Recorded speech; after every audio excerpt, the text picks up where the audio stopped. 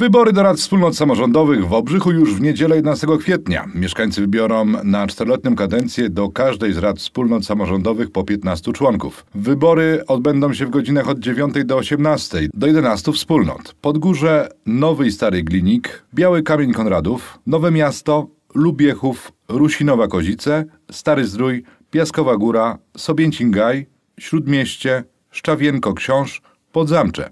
Wybory zostaną przeprowadzone w siedzibach Rad Wspólnot Samorządowych, a więcej informacji na temat wyborów znajdziecie na portalu wałbrzych24.com.